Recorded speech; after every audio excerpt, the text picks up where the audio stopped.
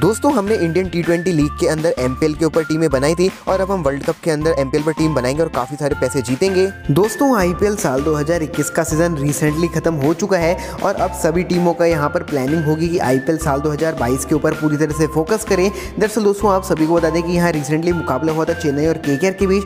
चौथी बार चैंपियन बन चुका है। चेन्नई सुपर किंग्स की टीम।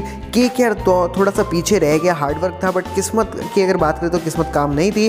खैर दोस्तों, आज की वीडियो में हम बात करेंगे कोलकाता नाइट राइडर्स की टीम के बारे में, और टीम के केयर की तरफ़ से काफ़ी सारी अपडेट्स बाहर निकल के आ रही है। टीम के केयर के अंदर एक नए प्लेयर की एंट्री होने वाली है, और ये नया प्लेयर उनका कप्तान भी हो सकता है। तो कौन सा है ये प्लेयर कैसे आने वाला है? इसके अलावा दोस्तों के केयर मैनेजमेंट की तरफ़ से भी बड़ा बयान आ चुका है। तो क्या है ये बयान? क्या है अपडेट्स दिन भर की टॉप खबरें लेकर आ गया हूँ मैं तो वीडियो काफ़ी मज़ेदार, काफ़ी इंटरेस्टिंग होने वाली है। तो दोस्तों, आप सभी लोग से उम्मीद करूँगा कि आप वीडियो को बिल्कुल भी स्किप नहीं करेंगे और वीडियो को लास्ट तक ज़रूर देखेंगे। दोस्तों, अगर आप भी हैं आईपीएल के बड़े फ़ैन तो जल्दी से कर दीजिए हमारी वीडियो को लाइक। इसके अलावा आईपीएल की लेटेस्ट न्यूज़ के साथ अप टू डेट रहने के लिए चैनल को ज़रूर सब्सक्राइब करें और बेल आइकन भी दबा दें। दोस्तों, मैं आप सभी को एमपीएल के बारे में बताना चाहूँगा, जो कि सबसे शानदार फैंटेसी ऐप है। इसमें दोस्तों, आप दस, बीस, तीस नहीं, बल्कि 99 टीम्स बना सकते हो। और ये बात तो आप जानते ही हो कि जितनी ज़्यादा आप टीमें बनाओगे, उतना ही ज़्यादा पैसा आप कमा पाओगे। इसके अलावा दोस्तों, मैं आप सभी को बता दूँ, हमारी रिसेंट टीम हमने बनाई थी, जिसके अंदर हमें नौ हज़ार रुपए उस टीम ने कमा कर दिए थे और आज के मुकाबले के लिए भी आप टीम अपनी स्क्रीन के ऊपर देख पा रहे होंगे। यही नहीं दोस्तों, एक और खुशखबरी की बात यह है कि केवल और केवल पैंतीस रुपए में आपको बारह मैचों के पास वर्ल्ड कप के लिए मिल जाएँगे, जो कि एक बहुत ही यूनिक बात है। तो लिंक नीचे डिस्क्रिप्शन कमेंट बॉक्स में दी हुई है डाउनलोड करना ना दोस्तों, कोलकाता नाइट राइडर्स की टीम के लिए ये साल काफ़ी अच्छा रहा बट इन लास्ट दोस्तों थोड़ा सा बुरा हो गया, जहाँ पर ये फाइनल हार गए बट बहुत अच्छी इनकी परफॉर्मेंस रही। अगले साल काफ़ी अच्छा और परफॉर्म करेंगे। आप नीचे ज़रूर कमेंट करके बताना, आपको क्या लगता है टीम के को साल 2022 के अंदर सबसे इंपॉर्टेंट प्लेयर मेगा ऑप्शन में कौन खरीदना चाहिए? टॉप अपडेट्स की बात करें तो पहली अपडेट आ रही है के मैनेजमेंट की तरफ़ से। तो दोस्तों के मैनेजमेंट ने काफ़ी अच्छा काम किया है, खासकर फ़ेज़ टू के अंदर।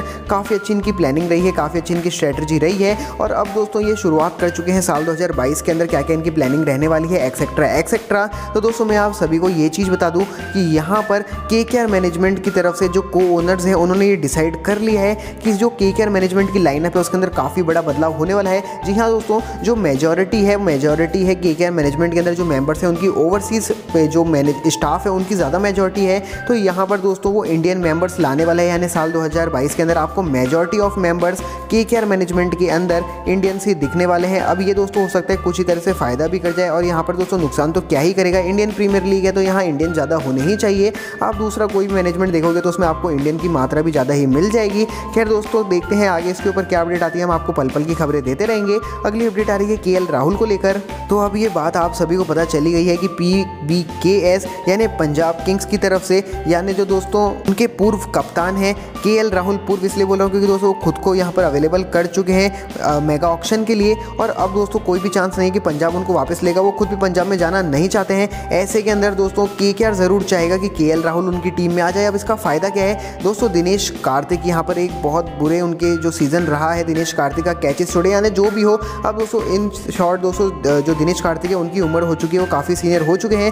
के राहुल अगर टीम में आते हैं तो एक इंडियन प्लेयर है, एक धमाकेदार इंडियन प्लेयर है ओपनिंग भी मिल जाएगी। खैर, वो नीचे भी थोड़ा बैटिंग कर सकते हैं। इसके अलावा दोस्तों विकेट कीपर भी है जो दिनेश कार्तिक को रिप्लेस कर सकते हैं। और सबसे बड़ी बात है दोस्तों, ये कैप्टन भी कर सकते हैं टीम को। तो यहाँ दोस्तों, किसी भी और ओवरसीज़ खिलाड़ी की ज़रूरत नहीं पड़ेगी कैप्टन करने के लिए। तो आप नीचे ज़रूर कमेंट करके बताओ कि मेगा ऑप्शन के लिए के राहुल जो है एक अच्छी चॉइस हो सकते हैं के की टीम के लिए, या फिर नहीं। अगली अपडेट आ रही है ओपनर्स को लेकर। तो दोस्तों के केयर के लिए इस साल कुछ अच्छा हुआ हो या ना हुआ हो, सबसे अच्छा यही हुआ है कि इनको एक अच्छी ओपनिंग जोड़ी लंबे समय के बाद मिल गई है। क्रिस लिन और सुनील नारायण की जोड़ी के बाद अगर कोई सक्सेसफुल जोड़ी यहाँ मिल रही है तो वो यही होने वाली है। खैर दोस्तों, मैं आप सभी को बता दूँ कि मेगा ऑक्शन के अंदर अब यहाँ पर काफ़ी टीमों के पास चॉइसेस होंगी कि वो चार प्लेयर्स को रिटेन कर सके। उनके रूल्स मैंने आपको पहले ही बता दिए थे और कुछ रूल्स चेंज होंगे तो वो मैं अपडेट कर दूँगा। खैर, अभी की लेटेस्ट अपडेट ये है कि के मैनेजमेंट ने ऐसा कह दिया है कि हम किसी भी कीमत के ऊपर इन दो खिलाड़ियों को रिटेन करने वाले हैं, यानी रिटेन करेंगे या फिर ऑप्शन के अंदर वापस बाय करेंगे। आपको ये दो खिलाड़ी तो वापस सेम जर्सी में ही देखने को मिलने वाले हैं, जो कि वेंकटेश अय्यर होने वाले हैं और शुभन गिल होने वाले हैं। चाहे इनकी कीमत कितनी भी चुकानी पड़े या डायरेक्ट रिटर्न करना पड़े तो गाइज़ जल्दी से जाओ एमपीएल पर टीम बनाओ अगर अभी तक नहीं बनाई है तो लिंक नीचे डिस्क्रिप्शन और कमेंट बॉक्स में दिया। ये थी टीम के की टॉप अपडेट वीडियो को लास्ट तक देखने के लिए धन्यवाद। चैनल पर आपने हो तो चैनल को ज़रूर सब्सक्राइब करो और वीडियो को भी ज़रूर लाइक करो।